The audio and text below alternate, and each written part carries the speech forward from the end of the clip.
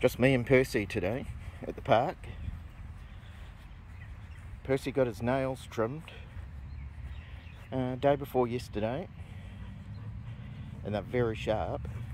So he needed to come out and do some walking on concrete. Looks like he's going to go and bother the seagulls. Oh he smelt a feather. Good boy Percy I have to stop in town for something, so I couldn't really manage all four hounds by myself. So it's just me and Percy. Such a good boy. I think Polly and Percy are only going to be with us for another week or so. So I'm having some one-on-one -on -one time with Percy as well. Not sure if we get to see them again very soon. Hopefully they'll still come with us for walks to the park and what have you. Where they're going to be living is pretty close to us, probably about, I don't know, 10 or 15 minutes drive.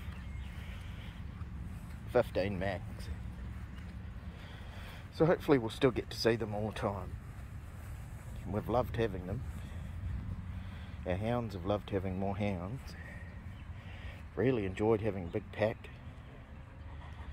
They sleep in a big pile. They all hang out on the couch together all day.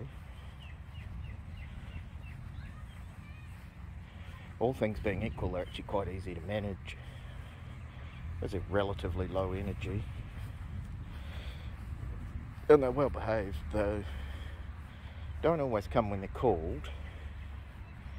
But they're always friendly to other dogs and people, so we're never unsafe. We always stay away from the roads and if we can't, we go on leash. We've got to swing by and get some bones.